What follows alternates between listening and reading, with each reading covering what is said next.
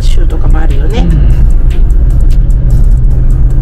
街がなんか優雅だようんと素敵何これね素晴らしいねうあその三角屋根じゃなかったかあん違うみたいだねこっちだこっちうんあてっきり俺あほら三角屋根だけどさっきのとは違うんだね三角が違ったねお収穫祭り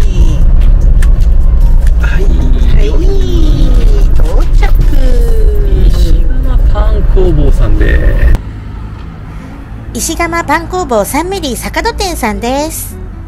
サンメリーは1946年創業の老舗のパン屋さん。東京赤羽で和菓子と甘味喫茶のお店で始まりました。戦後の混乱期、材料も十分に手に入らない中、サッカリンなどの甘味料を使用するのが当たり前だった時代に、砂糖の使用にこだわり続けたのがサンメリー精神のスタートだそうです。時代の成長とともに洋菓子、レストラン、焼きたてパンへとサンメリーは変化を続け今なお創業当時の本来の味、安心素材を使ったパン作りをしています。安いよサンメリのパンの生地にはイーストフードは使用していないのをご存知ですか？カレーや各種ソースなども添加物を使わないように手作りしているんだそうです。そしてパン作りに欠かせない塩もにがりを含んだ粗塩。塩に含んだミネラルが深い味わいにしてくれるそうです。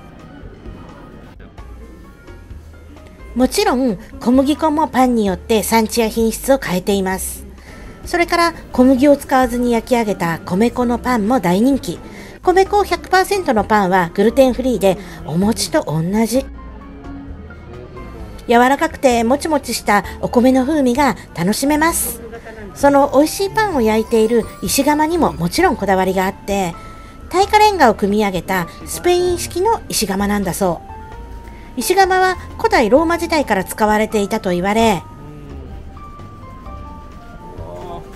遠赤外線効果により外はカリ中はふわっと焼き上がるそうです。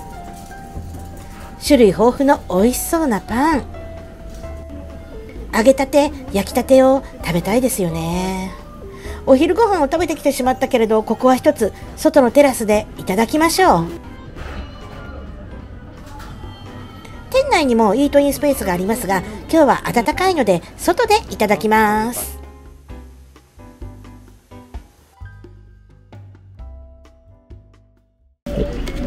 150円以上パンを買うとドリンクが半額になるんだって。2杯目も半額とか書いうん書てあったよね。いてあった、うん。お得ね。すごいね。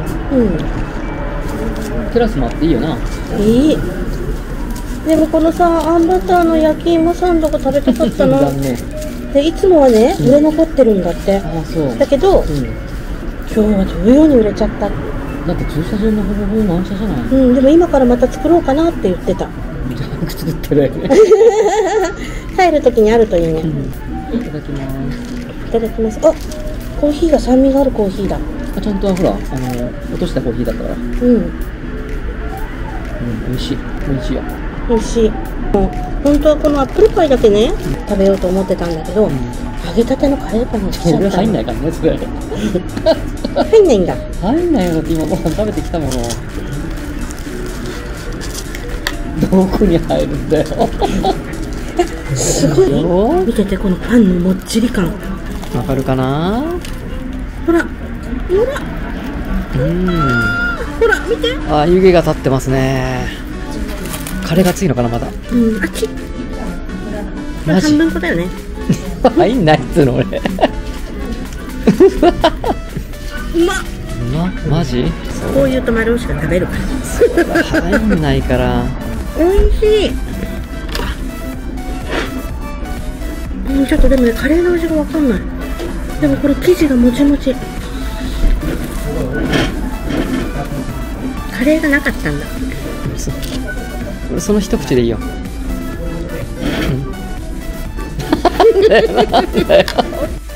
揚げたての美味しさをお伝えしたいからお腹いっぱいでも食べてるマルコ偉いじゃんね食べれば入るかなきるん。だ洋服 T シャツ垂らさないでよ、うん。出来たてのカレーパンはうまいね。うまいでしょ？うん美味しい。うん。うん焼きたてはさすがいいね。うん。出来たてじゃないカレーパンって食べたくないのうん。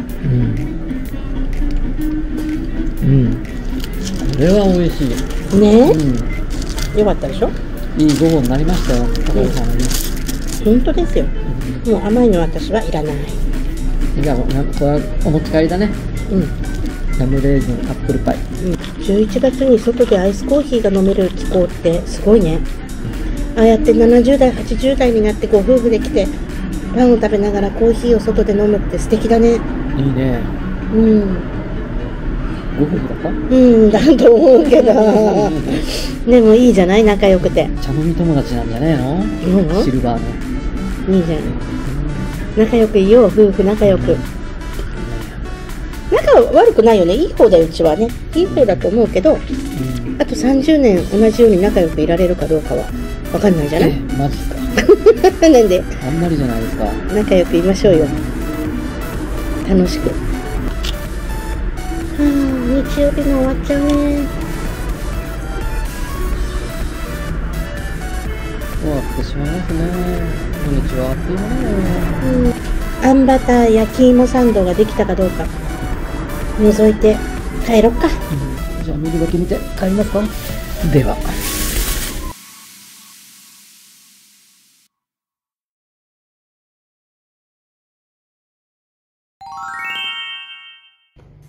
次回の動画はスフレみたいなふわふわのオムライスにカリカリの唐揚げ。肉厚なのにサクッと切れるとんかつに辛口カレーのスペシャルコンビ。これにありつくまでが長かった。いつものように珍道中。よかったらお付き合いください。これは美味しかったよ。お楽しみにしてください。